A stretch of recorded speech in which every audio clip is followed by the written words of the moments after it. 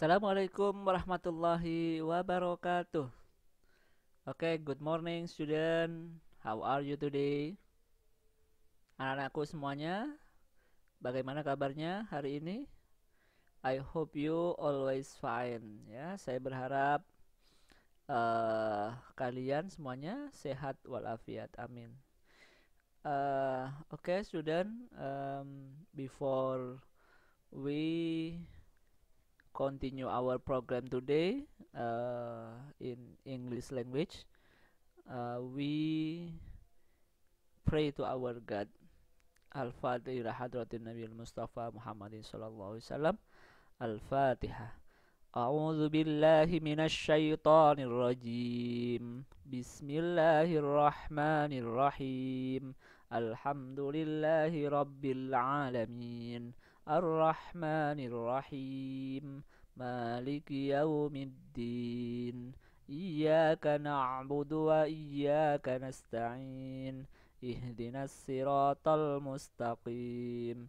صراط الذين أنعمت عليهم غير المغضوب عليهم ولا الضالين. آمين. رضيت بالله ربا وبالإسلام دينا وبمحمد نبيا ورسوله ربي زدني علما وارزقني فحما واجعلني من عبادك الصالحين آمين Oke, okay, sudah um, kita hari ini today I will discuss all about there is and there are. Uh, nah, there is itu digunakan untuk menyatakan keberadaan benda tunggal, singular ya, single, singular. Jadi pakai there is. Kemudian untuk there are digunakan menyatakan keberadaan benda jamak atau disebut dengan plural ya. Jadi there is itu adalah singular, kalau there are adalah plural. Nah, itu. Kemudian contoh ini There is a car in the garage. Ya.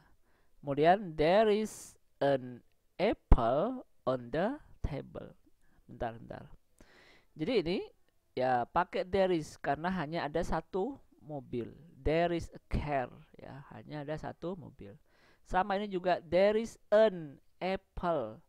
Ini pakai there is karena cuma an satu ya satu apple. Kemudian there is much money. Nah ini ada banyak uang.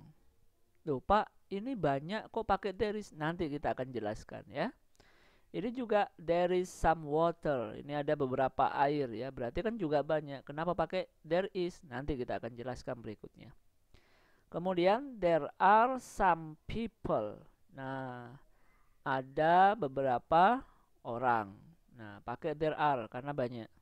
There are seven cows. Ya, ada tujuh sapi. Nah, berarti ini pakai there are karena bah banyak plural there are few student. Ada ada beberapa sis siswa. Baik. Pada contoh di atas tadi uh, terdapat penggunaan artikel atau kata sandang a dan en yang berarti tung tunggal. Jadi kalau e, kamu bisa mengetahui bahwa benda itu single atau tunggal, singular, maka di situ ada tanda e atau en ya. Ada artikel namanya e dan en.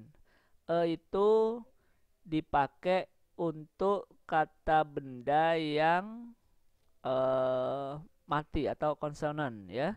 Tapi kalau en dipakai vowel, vokal, huruf yang hi yang hidup an apple. Nah, e ada a i u e o ya, pakai an. Kemudian anak-anak uh, oh ini ya, kadang ada e sebuah seorang seekor digunakan suatu benda berawalan huruf selain a i u e o. Kalau en dipakai untuk benda yang berawalan huruf vokal a i u e o. Oke. Selanjutnya kita akan belajar mengenai much, mini, little, a few, some, several, lot of. Much tadi ya. Banyak itu much itu artinya banyak ini digunakan untuk benda tak dapat dihitung atau namanya adalah uncountable nouns. Uncountable nouns. Jadi much itu artinya banyak, tapi banyaknya itu untuk benda yang tidak bisa dihi dihitung. Uncountable nouns. Kalau mini itu artinya juga banyak, tapi digunakan untuk benda yang bisa dihi dihitung. Kalau much benda tidak bisa dihitung, kalau mini ben banyak benda yang bisa dihitung atau dalam bahasa Inggrisnya countable nouns, benda yang bisa dihitung. Kemudian lot of, lot of itu banyak juga digunakan untuk benda baik yang dapat dihitung maupun tidak dapat dihitung. Jadi bisa pakai bisa benda yang bisa dihitung, countable ataupun uncountable. Little itu artinya sedikit ya. Little, few, several ya itu sedikit ya little sama few itu sedikit. Kalau little dipakai benda yang bisa yang tidak bisa dihitung. Jadi kalau banyak pakai much, kalau sedikit pakai little. Jadi uncountable noun, benda yang tidak bisa dihitung. Kalau banyak pakai mini, kalau sedikit pakai few untuk countable noun, benda yang bisa dihi dihitung.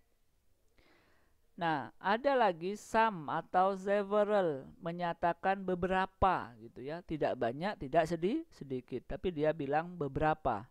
Maka kamu e, menggunakan some atau several, baik itu countable ataupun uncountable, benda bisa dihitung ataupun ti tidak. Oke, semoga paham anak-anak. Berikutnya contoh ini. Contoh benda tunggal singular maupun benda jamak. Benda tunggal. Misal, a cat, one motorcycle, an age, the sun, water, some ink.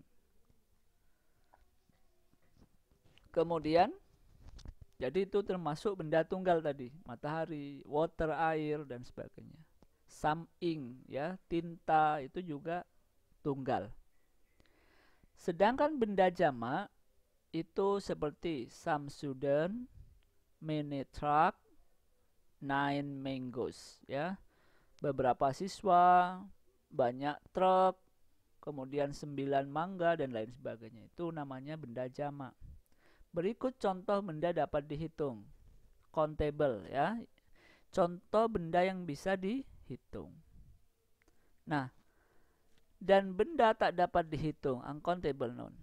Benda yang dapat dihitung dulu. One bicycle. Kemudian an umbrella Kemudian 100 ball. Jadi ada satu sepeda, ada sebuah payung, ada satu ada 100 bola, ada kemudian four wheels, some woman, several mice dan lain sebagainya. Nah, kemudian benda tak dapat dihitung itu seperti some water, much money, the sand, sugar. Jadi kalau kayak air, uang, pasir, minyak, madu dan sebagainya itu namanya benda yang tidak bisa dihitung. Itu.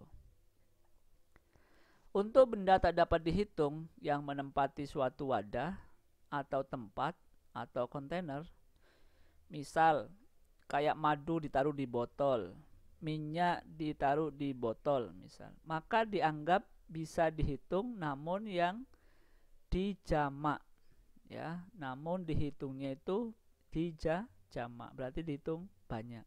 Contoh uh, Jadi yang dihitung adalah tempatnya, botolnya tadi itu, ya. Contoh, two glasses of milk, ya. Dua gelas su susu. Jadi bukan susunya yang dimaksud, tapi adalah gelas gelasnya yang dihitung itu, ya.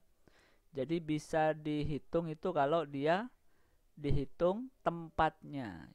Ya, misalnya 2 kg of sugar. 2 kilo dari gu gula. 2 kilo of oil misalnya 2 kilo air dan sebagainya. Nah ini anak-anak semuanya insya Allah itu tadi tentang pembelajaran there is dan juga there there are ya. Uh, semoga pembelajaran kita pada pagi hari ini mendapatkan manfaat dari Allah dan anak-anak paham di rumah. Jadi nanti tugasnya adalah uh, Pak Sur akan memberikan atau membuat kalimat atau kalian disuruh membuat kalimat. Jadi antara pakai there is dan juga there there are ya. Bisa dilihat juga di LKS-nya sebagai penambah uh, keilmuannya anak-anak di situ dicek nah, sehingga nanti uh, ada banyak pembanding dari uh, apa namanya tentang uh, materi there is dan juga there are ya. Uh, mungkin itu yang bisa Pak Sur sampaikan pada anak-anak hari ini. Semoga bermanfaat.